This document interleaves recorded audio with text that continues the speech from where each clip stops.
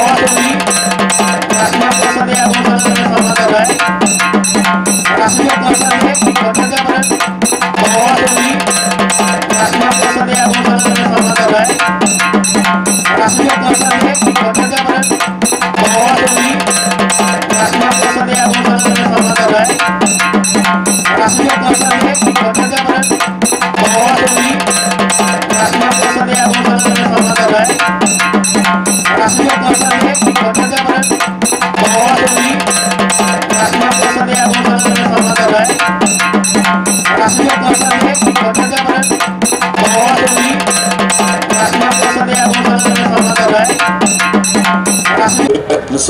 तर जनसमूहाची प्रगती होत नाही.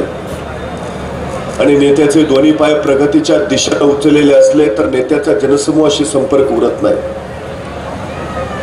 नेत्याचा एक पाय जनसमूहात नाही आणि दुसरा पाय त्या जनसमूहाच्या प्रगतीच्या दिशेनं उचललेला आहे. असा नेता म्हणून या भागाला आमदार उल्हासदादा पाटील यांची ओळख आहे. अठरा वर्ष सातत्यानं शेतकऱ्यांशी संघर्ष केला. सर्वसामान्य माणसाच्या समस्या सोडवण्यासाठी सातत्यानं आंदोलनाच्या रूपानं सर्वसामान्य माणसाच्या पाठीशी उभारायचं काम केलं. पण समाजकारणाच्या प्रतिष्ठापनेसाठी सत्ताकरणाचा सरीपाट अत्यंत आवश्यक असतो. बावीस वर्षाच्या संघटनेच्या कारकिर्दीत ते झालं नाही. मात्र उल्हासदादा पाटील शिवसेनेत आले आणि शिवसेनेनं पहिला विजय त्यांच्या रूपाने या भागामध्ये निर्माण केला. शिवसेनेचे आमदार म्हणून उल्हासदादा पाटील सर्वसामान्य माणसाच्या लोकांसाठी आपल्या स्वतःच्या घराचं आमदार उघड ठेवू लागले आणि खऱ्या अर्थानं सर्वसामान्य माणसाला एक विश्वास निर्माण झाला. मी आज दिवसभर त्यांच्यासोबत आहे. या सगळ्या तालुक्यातून फिरतोय. महाराष्ट्राचं देवपीठ असणाऱ्या नरसोबाच्या वारीला आम्ही मगाशी जाऊन आलो. भेटणारा प्रत्येक सातत्यानं सांगत होता की गेल्या साठ वर्षात इथं झालं नाही. ते मागच्या तीन वर्षात आमदार उल्हासदादा पाटलांनी इथं करून दाखवलं. ज्या गावात जाऊ त्या गावात कामं झाली ज्या गावात जाऊ त्या गावात विकास कामं झाली. एक आमदार आपल्या कारकिर्दीत नेमकं काय करू शकतो याचं उत्तम उदाहरण म्हणून उल्हासदादा पाटलाकडे आवर्जून बघावं लागेल. आज सकाळी इचलकरंजीला त्यांना कार्यसम्राट आमदार म्हणून पुरस्कार मिळाला. तीन वर्षात केलेल्या कार्याची खऱ्या अर्थानं पावती होती. समाजाला नेता हवा असतो तो आपल्या समस्या सोडवणारा. समाजाला नेता हवा असतो तो आपल्याला प्रगती पथावर नेणारा. समाजाला नेता हवा असतो तो आपल्या उद्याच्या पिढ्यांची खऱ्या अर्थानं भविष्यकालीन सोय करणारा. असा दूरदृष्टीचा नेता असणं हे समाजाचं आणि त्या भागाचं सगळ्यात मोठं भाग्य असतं आपण शिरोळकर त्या बाबतीत भाग्यवान आहात की आपल्याला असा नेता उल्हासदादा पाटलांच्या रूपाने मिळाला. शिवसेने सातत्यानं सर्वसामान्य माणसासाठी लढा दिला. आणि सर्वसामान्य तर शिवसेनेनं नेता म्हणून उभा केलं. नेमका सगळा दुग्ध शेतकरा योगी तर एकत्र आला. आज खऱ्या अर्थानं मला आनंद यासाठी झाला की आपण मर्दानी खेळाची स्पर्धा भरवली. आम्ही लहान असताना महाराष्ट्राच्या गल्लो गल्ली चौकात चौकात पूर्वी कबड्डीच्या स्पर्धा रंगायच्या. शाळांमध्ये असताना मी खो खो कबड्डी सातत्यानं खेळायचो. मित्रमंडळी आम्ही विटी दांडूच्या खेळात रंगून जायचो. गावागावात तालमी असायच्या. आमची तरणी पान जिगरबाज पोरं त्या लाल मातीत रंगून निघून जायची. पण हा सगळा भूतकाळ होता. वर्तमान वेगळा आणि भविष्य कसं असेल हा सगळ्यात मोठा चिंतेचा विषय आहे. मी सकाळी सुद्धा माने साहेब सांगितलं की मी एका मुलाला विचारलं. काय रे म्हटलं काही खेळ बिळ खेळतोस का नाही? म्हटलं सगळे खेळ खेळतो. फुटबॉल खेळतो व्हॉलीबॉल खेळतो क्रिकेट खेळतो बॅडमिंटन खेळतो. म्हटलं एवढे सगळे खेळ खेळतो. म्हणजे दिवसभर मैदानावरच असतोस का काय? तो म्हटला मैदानावर नाही मोबाईलवर खेळतो. म्हणजे आमची एकीकडची नवी पिढी आता मोबाईलवर खेळ खेळायला लागली. अशा अवस्थेत या नव्या पिढीला मैदानावर घेऊन येणं ही सगळ्यात महत्वाची गोष्ट होती. मैदानावर त्याला खेळतं करणं ही गरजेची गोष्ट होती. आणि आता या कबड्डी स्पर्धेच्या रूपानं आपण नेमकं ते साधलंय. खरं तर स्पर्धा म्हणून जाऊ द्या पण माझ्या नव्या पिढीला मैदानावर आणायचं सगळ्यात मोठं काम आपण या स्पर्धेच्या निमित्तानं केलंय. यासाठी खरं तर आपल्या सगळ्यांना मनपूर्वक धन्यवाद देऊन आपल्या सगळ्यांचं कौतुक केलं पाहिजे. खरं तर नव्या पिढीला काही दिवसांनी कबड्डी हा खेळ होता हे सांगावं लागतं की काय अशी माझ्यासारख्याला भीती होती. पण नुकतीच प्रो कबड्डी लीग चालू झाली. टीव्हीवर त्याच्या जाहिराती गाजू लागल्या. बघता बघता त्याचे पाच सीझन झाले. आणि आतापर्यंत खेळाडू फक्त क्रिकेटमध्येच असतात. असा जो आमचा गैरसमज होता तो आता कबड्डीत सुद्धा खेळाडू असतात. हे त्याच्यामुळे खऱ्या अर्थानं लोकांसमोर आलं. ही सगळ्यात मोठी गोष्ट आहे. म्हणजे कबड्डी सारख्या खेळाला सुद्धा आता व्यावसायिकता येते आहे. आणि व्यावसायिक पद्धतीनं हा खेळ आता लोकांसमोर येतोय. ही सगळ्यात मोठी आनंदाची आणि महत्वाची गोष्ट मांडली पाहिजे. पण खरं तर आता ही कबड्डी स्पर्धा होतीये आज अंतिम सामना पण कबड्डीचा इतिहास किती लोकांना माहिती आहे? कबड्डी हा खेळ कसा जन्माला हे किती लोकांना माहिती आहे? हेही आम्ही कधीतरी बघितलं पाहिजे. खरं तर कबड्डीचा जन्म कुठल्या देशात झाला याच्यावर अजून वाद आहे. तो वाद सुटलेला नाही. आमच्याकडे असं मानलं जातं की कबड्डीचा जन्म भारतामध्येच झाला. पण इराण सुद्धा या कबड्डी खेळावर दावा ठोकून आहे. की आमच्याकडे पाच हजार वर्षापूर्वी सुद्धा कबड्डी खेळली जात होती. त्यामुळे भारतात मग जन्म झाला की इराणमध्ये जन्म झाला.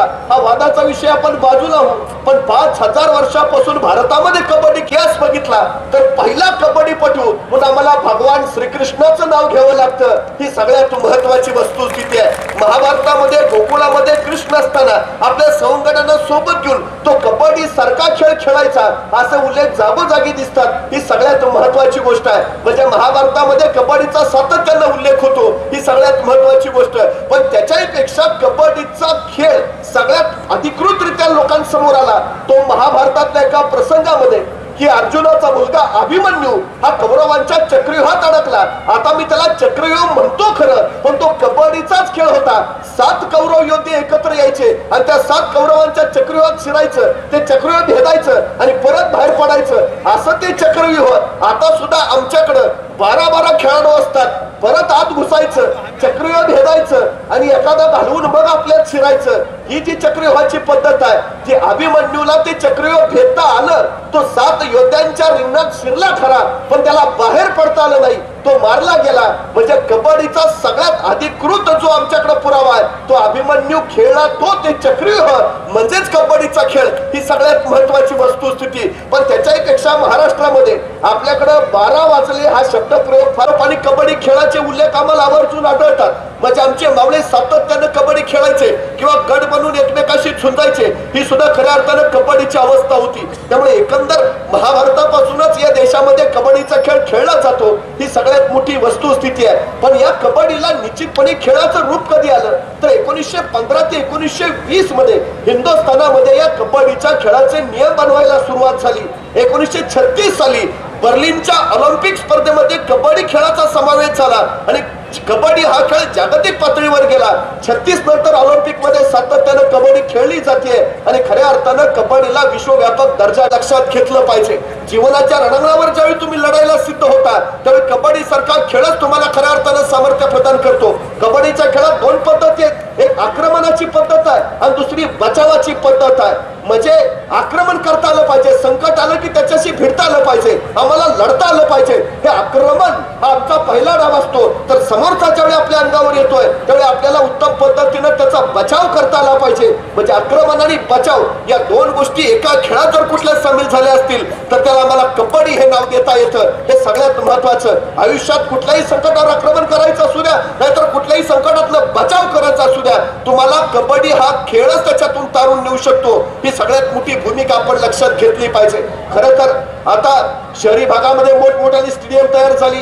मोठमोठ्या खेळांचे कोच तयार झाले तिथं प्रशिक्षक तयार झाले. प्रश्न माझ्या ग्रामीण भागाचा. ग्रामीण भागामध्ये आता या कबड्डीच्या स्पर्धेच्या माध्यमानं कबड्डीची लोकप्रियता वाढेल. माझी नवीन नवीन पोरं या खेळात येतील. पण सगळ्यात महत्वाची गोष्ट जर आपण विचारात घेतली तर निरोगी शरीर संपदा तयार करायची असेल माझी पोरं जर बलवान करायची असतील तर निश्चितपणे त्यांना मैदानाकडे वळवणं ही अत्यंत गरजेची गोष्ट झाली आहे मातीशी नाळ त्याची जोडली जाणं ही आता अत्यंत गरजेची गोष्ट झाली आहे पूर्वी काय व्हायचं आमदार साहेब? आमची पोरं घरातच जन्माला यायची. त्यामुळे सुई नाळ घरातच कापायची. आणि तिथंच आसपास अंगणात कुठंतरी त्या नुकत्या जन्माला पोराची नाळ मातीत पुरून टाकायची. कारण पूर्वीची पोरं मातीशी नाळ राखून होती. आता पोरं हॉस्पिटलमध्ये जन्माला येतात. नाळ कुठल्या डस्टबिनमध्ये टाकली जाते. आणि नंतर ती कुठं जाऊन पडते? याचा पत्ता काही लागत नाही. त्यामुळे अलीकडे जन्माला आलेल्या पोरांची नाळ खरंच मातीशी जुळली जाते का? ती जातच नाही. ही सगळ्यात मोठी वस्तुस्थिती आहे. तुम्ही जन्माला कुठेही या पण निमान खेळायला तरी मैदानात या. जेणेकरून मातीशी तुमची नाळ जोडली जाईल आणि या मातीच्या रंगाने आम्हाला रंगता येईल. ही सगळ्यात महत्वाची भूमिका आपण लक्षात घेतली पाहिजे. खर तर गणिनी कावा हा शब्दप्रयोग आम्ही श्रीकृष्णाच्या बाबतीत सुद्धा उच्चारतो. गणिनी काव्याचा पहिला उद्गाता भगवान श्रीकृष्ण. मी सुरुवातीला श्रीकृष्णाला उत्तम कबड्डीपटू का म्हटलं? त्याला जरासंधाबरोबर कबड्डीच खेळली जयद्रथाबरोबर म्हणजे त्याचं सगळं महाभारत जर आपण बघितलं भगवान श्रीकृष्णाचं तर कबड्डीचा आहे. मुळात मला एक गोष्ट आहे की तुम्हाला जिंकायचं असलं नाहीतर पळून जायचं असलं दोन्ही गोष्टीला कबड्डीच फायदेशीर आहे. आपण एक तर लढणारा म्हणतो नाहीतर पळून जाणारा म्हणतो. पळवून जायचं जरी झालं तरी तुम्हाला कबड्डी शिकली पाहिजे? नुसतं पळून जायचं नाही दुसऱ्याचे दोन घालवून जाता आलं पाहिजे. त्यामुळे उत्तम पद्धतीनं कसं पळून जायचं? याची कला कबड्डी शिकवते. ही सगळ्यात महत्वाची गोष्टही आपण लक्षात घेतली पाहिजे. छत्रपती शिवाजी महाराजांच्या काळात अवतो भगवान श्रीकृष्ण तर सात वेळा पळून गेला. आठव्या वेळी त्यांनी मथुराच उचलून द्वारकेत घेऊन बसवली. म्हणजे कृष्णाचं सगळं आयुष्य कबड्डी खेळण्यातच गेलं. आम्हालाही कधी कधी हा विचार करता आला पाहिजे. त्या भूमिकेत आम्हाला जाता आलं पाहिजे. आणि निश्चितपणे जगण्याच्या या स्पर्धेमध्ये आक्रमण आणि बचाव या दोन्ही गोष्टी आम्हाला साधता आल्या पाहिजेत. त्या साधायच्या असतील तर खऱ्या अर्थानं प्रत्येक माणसानं आयुष्यात कबड्डी खेळली पाहिजे. हे सगळ्यात महत्वाचं गणित आपण लक्षात घ्यावं. छत्रपती शिवाजी महाराजांचा गणित कावा तर मला सातत्यानं कबड्डीवरच अवलंबून असल्यागत वाटतो. सातत्यानं. म्हणजे आमचा एक खेळाडू पलीकडच्या रिंगणात त्यांना शिवायला जातो. ते पाच सहा जण असतात. पण त्यातले दोन घालून परत सुखरूप आपल्याकडे येणं ही जी कबड्डीची पद्धत आहे ती छत्रपती शिवाजी महाराज आणि स्वराज्याच्या विरोधात लढताना सातत्यानं दाखवलेली आम्हाला दिसते. कमीत कमी हानी करता शत्रूचं जास्तीत जास्त कसं नुकसान करावं? ही जी लढण्याची पद्धत आहे त्याला गनिमी कावा असं म्हटलं जातं. म्हणजे आमचा एकच गडी हिकडून हिकडा पाठवायचा. कमीत कमी सैन्यासहित त्याची जास्तीत जास्त हानी करायची. आणि आपण परत यायचं. ही जी पद्धत आहे ह्याच प्रक्रियेचा वापर छत्रपती शिवाजी महाराज आणि स्वराज्यासाठी लढताना गनिमी काव्याच्या रूपाने केला होता. ही सगळ्यात मोठी भूमिका आपण लक्षात घेतली पाहिजे. खरं तर मी जाता जाता आपल्याला छत्रपती शिवाजी महाराजांची कंपनी कशी होती त्याच्याबद्दल आवर्जून सांगू इच्छितो.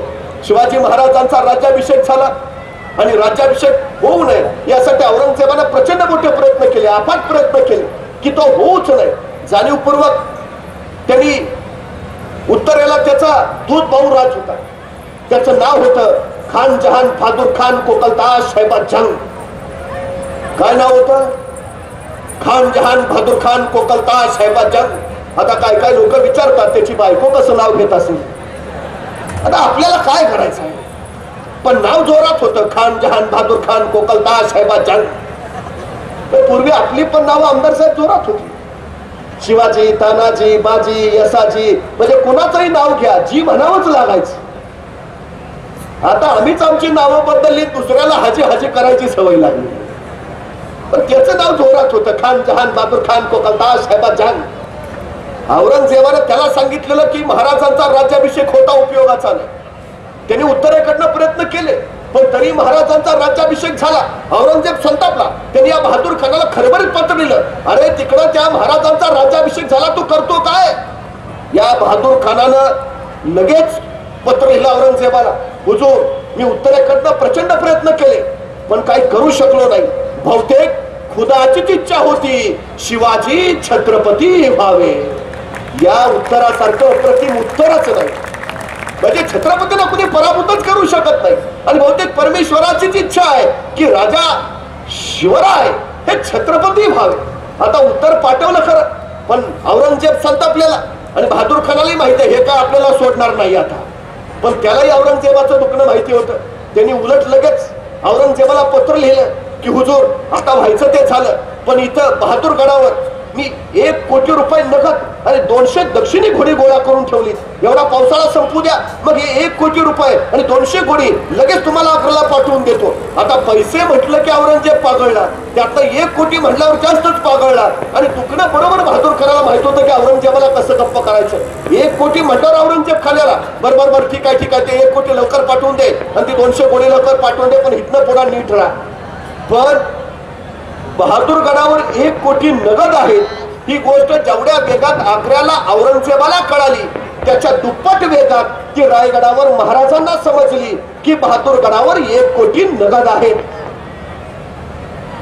महाराज म्हटले बरं झालं नाहीतर राज्याभिषेकाला खर्च झालाच होता. आणि महाराजांनी बोलावलं आपले सर्वस्कर हंबीरराव मोहिते. आणि महाराज म्हणाले हंबीरराव बहादूर गडावर एक कोटी नगद आहेत. हंबीराव म्हणले आणतो. काय संवाद आहे बघा राजा आणि सेनापतीचा. महाराज म्हटले हंबीरराव बहादूर गडावर एक कोटी नगद आहेत. आणतो. कारण सांगणंच नाही नाही महाराज जरा दिवस पावसाळ्याचे आहेत. त्यातनं मला सर्दीची अलर्जी आहे. सपू त्यांना पावसाळा मग बघू ना नंतर. कारणच नाही. महाराज म्हणले हंबीरराव बहादूर गडावर एक कोटी नगद आहेत. आणतो. पण अन्न सोपं आहे. त्या बहादूर गडावर पस्तीस हजाराची खडी फौज आहे. त्या पस्तीस हजार फौजेच्या तावडीत एक कोटी आणायचे म्हणजे पन्नास हजार फौज घेऊन गेलं पाहिजे. मग रायगडावर त्यावेळी पन्नास हजाराची फौज आहे? नाही हो. महाराजांची पद्धत काय? दसऱ्याला सीमोल्लंघन करावं स्वराज्य संवर्धनासाठी बाहेर पडावं अक्षय तृतीयेला परत यावं आणि शेतीच्या कामाला लागावं. आता महाराजांचा राजाभिषेक उरकून स्वराज्याचं सगळं सैन्य आपापल्या गावी शेतीवाडी करायला गेलाय. सैन्य आहे कुठं? मग बहादूर गावनं पैसे कसे आणणार? आपल्याकडे दंगल झाली आणीबाणी झाली की राज्य राखीव दल येतं. राज्य राखीव दल ही संकल्पना सुद्धा शिवाजी महाराजांची. रायगडावर कायम दहा हजाराची रिझर्व्ह फोर्स असायची. कायम दहा हजाराचं राज्य राखीव दल असायचं. हंबीरराव मोहितेंनी काय केलं? त्या दहा हजार फौजेतले एक हजार रायगडाच्या रक्षणासाठी तिथंच ठेवले. नऊ हजार आपल्यासोबत घेतले. त्या नऊ हजार फौजेचे. परत दोन भाग केले. एक भाग केला सात हजाराचा दुसरा भाग केला दोन हजाराचा. दोन हजाराची फौज हंबीरावाने आपल्या बरोबर घेतली आणि नऊ हजाराची आपल्या सरदाराकडे दिली. ती दोन हजाराची फौज घेऊन हंबीराव रायगडावर निघाले. ते पुण्यात आले आणि पुण्यात येऊन ते पुणे सोलापूर हायवेनं सांडस पाटस करत त्या बहादूरगडाच्या म्हणजे भीमा नदीच्या अलीकडं करकुंब नावाचं गाव आहे. त्या करकुंबला येऊन थांबले. त्या करकुंबपासून बहादूरगड एका झेपेत जाता येतो. म्हणजे त्या बहादूरगडाच्या अलीकडे हंबीरराव दोन हजार फौजनिशी थांबले आणि दुसरी सात हजाराची फौज घेऊन त्यांचा सरदार निघाला तो रायगडावरनं पुण्यात आला. पुण्यातनं तो निघाला नगरला. म्हणजे रांजणगाव शिरूर करून तो अहमदनगरला पोहोचला आणि नगरकडून तो श्रीगोंद्याकडे. हुजूर! मराठे? दिवसा? ते तर रात्री येतात. दिवसा कसे आले? हो महाराज खरंच आले. तोपर्यंत बहादूर खानाच्या कानावर सुद्धा घोषणा पडल्या आणि त्याची खात्री पडली. आले आले. पण त्यात ते दिवसा आले भयानक आले असणार. त्यांनी पस्तीसच्या पस्तीस हजार सैन्य बहादूर गडातनं बाहेर काढलं. वॉचमन गेटमनच ठेवले तिथं.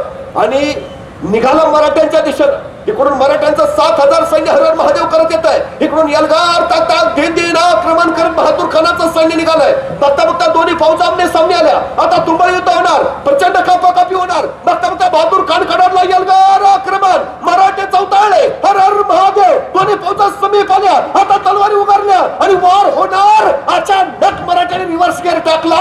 भागो! आला मराठे पुढं मोगल माग मराठे पुढं मोगल माग. एक मैल झाले दोन मैल झाले तीन मैल झाले. मराठे पुढंच. मराठे माग बोलून पण बघायला तयार नाहीत.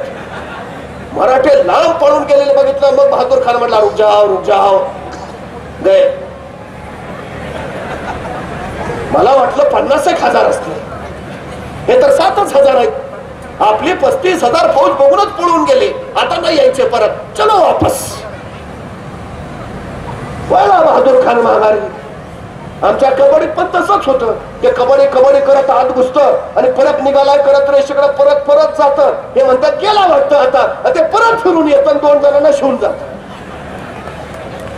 ते नेमकं बहादूर म्हटलं गेले वाटतं. आता तर हे सातच हजार आहेत. आपली पन्नास हजार फौज बघूनच पळून गेले. आता नाही येत परत. बहादूर खान वळला माग. सगळं सैन्य निघालं परत बहादूर गडाच्या दिशेनं. दोन तीन मैलच गेला असेल बहादूर खान. तोपर्यंत मागचा हिरो म्हटला हुजूर मराठे परत आले. आता मात्र बहादूर खानाचं डोकं फिरलं आणि काय पद्धत आहे खरा? अशी असते का लढाई? काय असेल ते एकदाच लढावं ना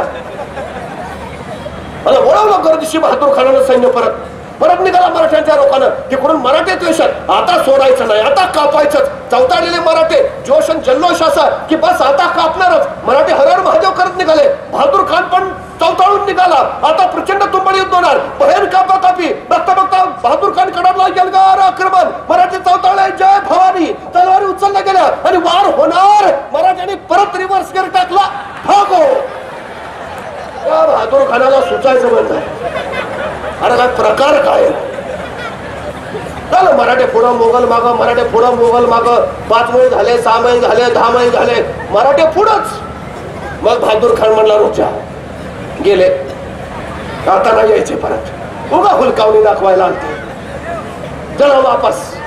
बहादूर खानानं वळवलं आपलं सैन्य. निघाला परत बहादूरगडाच्या दिशेनं.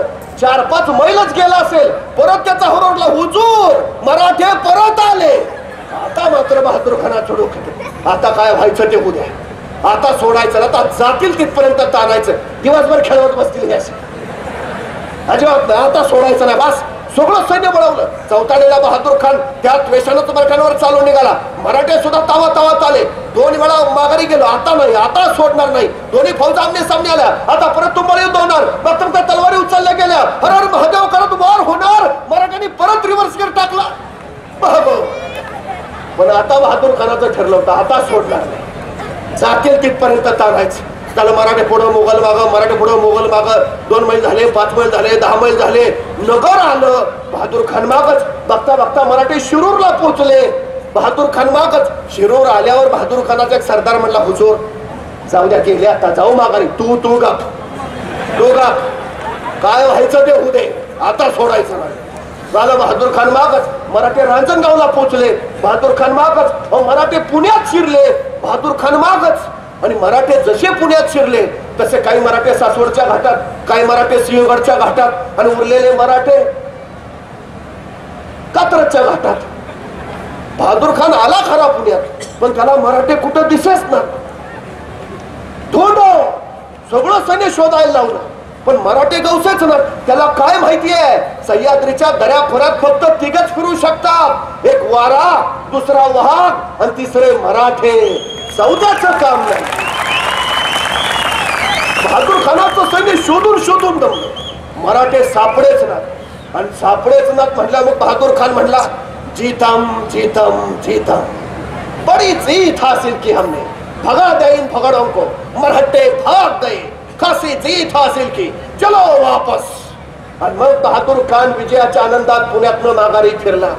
तो परत रांजणगावच्या दिशेनं नगरमार्गे तिकडं. जसा पुण्यातनं बहादूर खान फिरला तसा मराठ्यांचा एक हेर सुसाट करकुमला थांबलेल्या हंबीररावांना निरोप द्यायला पोहोचला.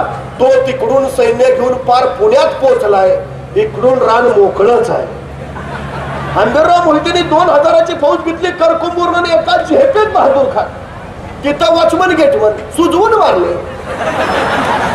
आत जाऊन एक कोटी उडवले.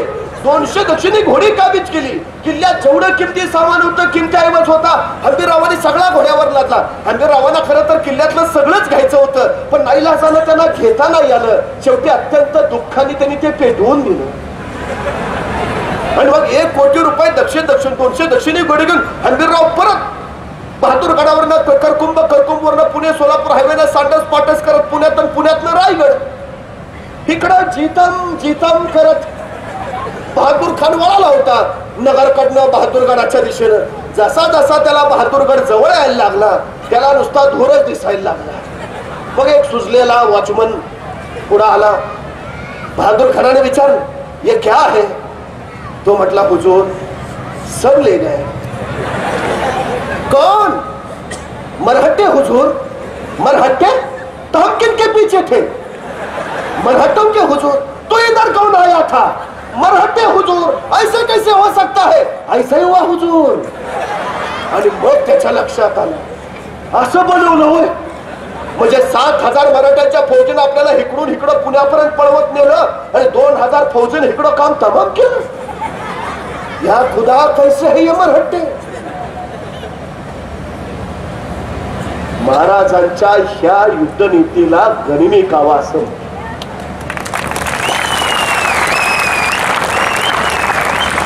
हे आलो आलो म्हणायचं उलकावून द्यायची गेलो गेलो म्हणायचं परत यायचं. कमीत कमी हानी करून जास्तीत जास्त शत्रूचं सैन्य गारद करायचं. ही सगळी कबड्डी मध्येच गनिमी काम आहे. नाहीतर मला सांगा पस्तीस हजाराचा फौज आहे बहादूर खानाच महाराजांचं किती? नऊ हजाराच. लढलं का प्रत्यक्ष? लढलंच नाही. युद्ध झालं का? नाही. हानी झाली का? नाही. या मोहिमेला काही खर्च आला का? नाही. आणि फायदा? एक कोटी. महाराजांना एक कोटी मिळाले. आता पार्टी नाही. महाराजांची दूरदृष्टी त्याच्या पुढची आहे. महाराज एवढंच नियोजन नाही करत. महाराज नियोजन काय करतात? एक कोटी पळवतोय आपण त्याचे. बहादूर खान गप्पा नाही बसणार. तो नगरचं सैन्य गोळा करेल नाशिकचं सैन्य गोळा करेल औरंगाबादचं सैन्य गोळा करेल त्याचं स्वतःचं पस्तीस हजार लाखभर सैन्य घेईल आणि रायगडावर हल्ला करेल. रायगड राजधानी आपलं फक्त दहा हजार सैन्य आहे. लाखभर सैन्य घेऊन जर बहादूर खान आला तर करायचं काय मग? बहादूर खानाचं आक्रमण थोपवलं पाहिजे. पण थोपवायचं कसं? कुठपर्यंत? आपलं सैन्य परत येईपर्यंत. आपलं सैन्य कधी परत येणार? पावसाळा झाल्यावर. पावसाळा कधी संपणार? चार महिन्यानंतर. म्हणजे चार महिने बहादूर खानाचं आक्रमण थोपवायचं आहे. सुरू झालं महाराजांचं राजकारण. महाराजांनी आपला वकील काजी हैदर तो पाठवला बहादूर गडावर बहादूर खानाला भेटायला. आता महाराजांचा वकील आलाय म्हटल्यावर बहादूर खान भेटच घेणार. नको बाबा ते बनवतात फार. तो भेटच घेणार.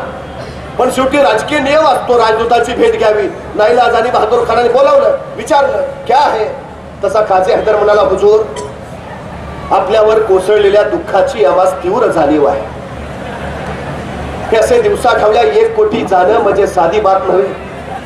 काळजाला किती यातना झाल्या असतील हे आम्हाला समजते पण हुजूर आमच्याकडून चुकून झालो इट्स अन ऍक्सिडेंट अपघात होता तो.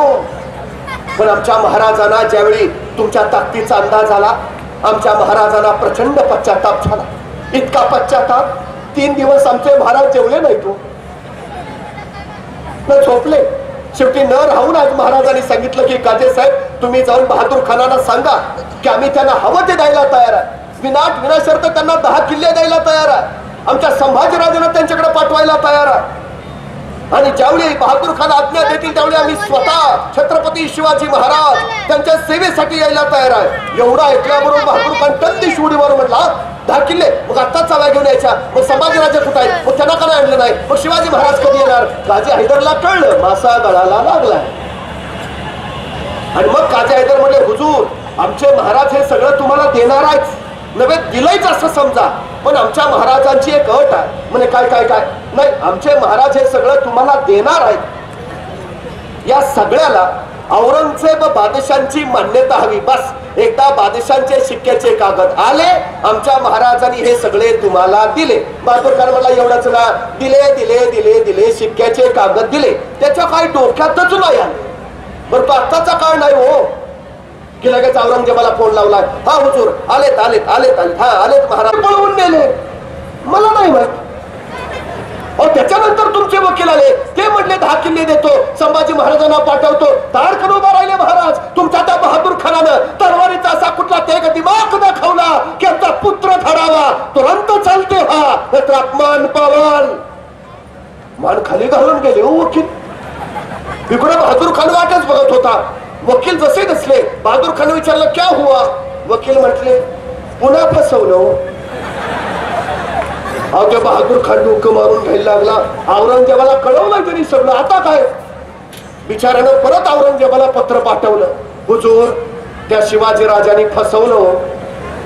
त्याच्या या पत्राला औरंगजेबाला जे पत्र पाठवलंय ना त्यांच्या पोरांच्या पाठ्यपुस्तकात छापायला पाहिजे आमदार साहेब.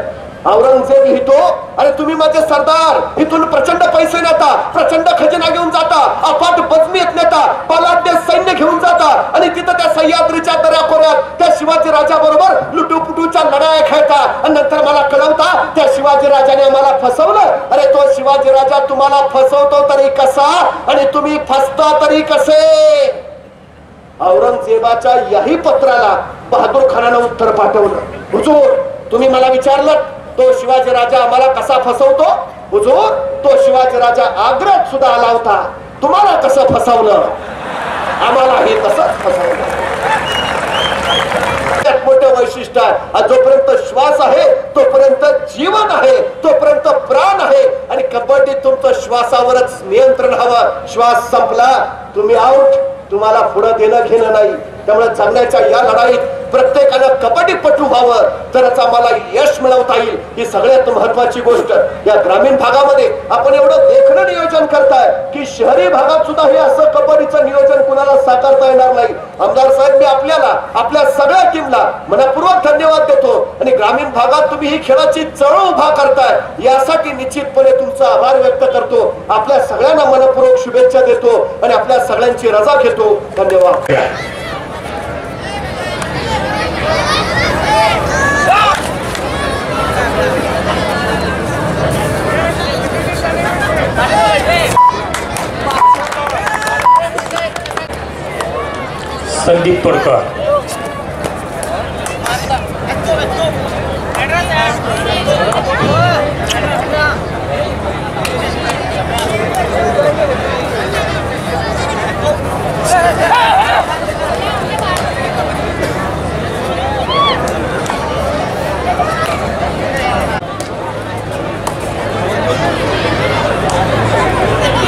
ऋषिकेश देसाई राणी. मंडप व्यवस्था करणारे सर्वांचं हार्दिक हार्दिक सत्कार या राष्ट्रावरती. मोहनवार यांच्या हस्ते घ्या. बापूवरील सत्कार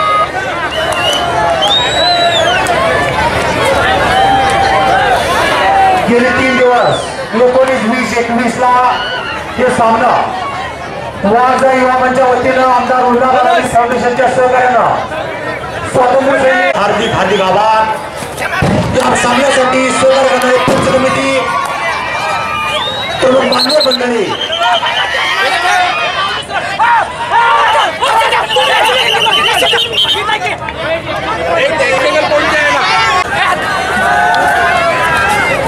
Come on.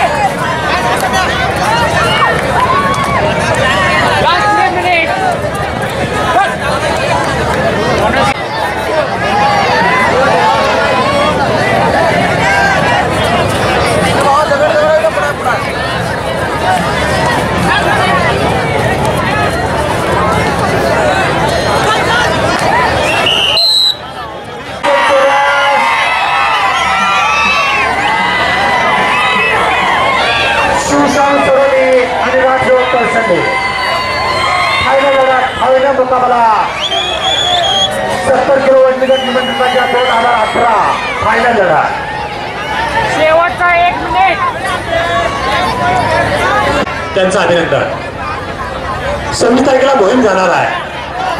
आणि मोहिमेच्या जाण्यासाठी इच्छुक असतील प्रवीण चुटकुले यांना भेटा ही विनंती आहे.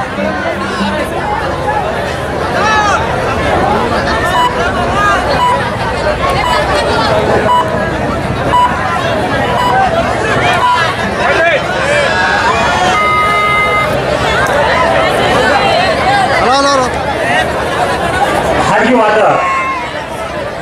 विशाल कांबळे बलराम कांबळे.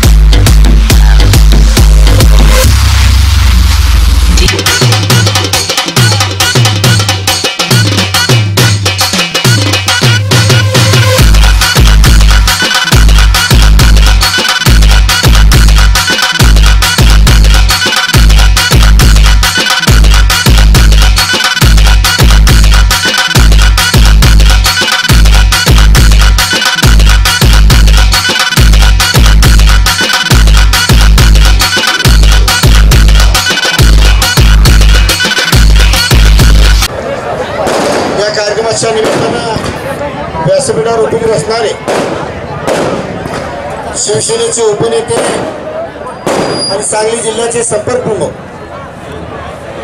आजच्या कार्यक्रमाचे प्रमुख वक्ते आदरणीय नितीनजी भानुगडे पाटील साहेब.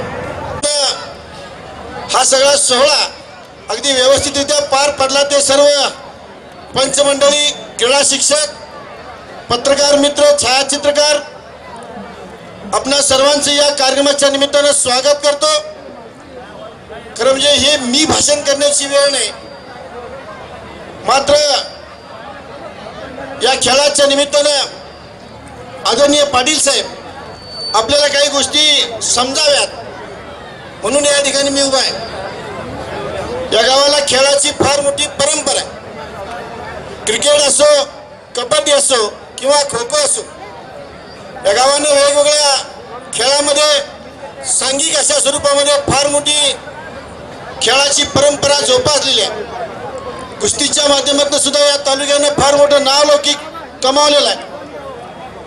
देशाला जी काही सुवर्ण पदकं मिळाली त्याच्यामध्ये कुर्नवाड सारख्या नगरीतल्या खेळाडूंनी फार मोठं योगदान पटकावलं आणि सलग तीन सुवर्ण पदकं या देशाला ॲथलेटिक्समध्ये मिळवून दिली.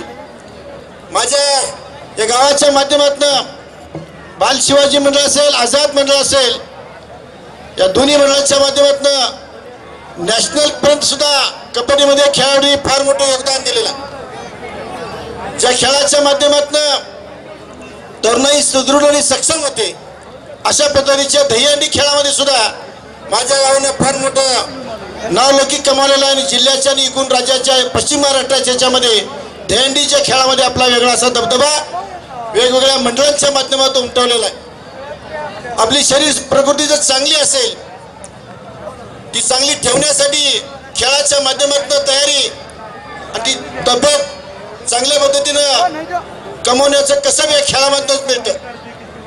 पण हा खेळ मातीमध्ये खेळला जात होता.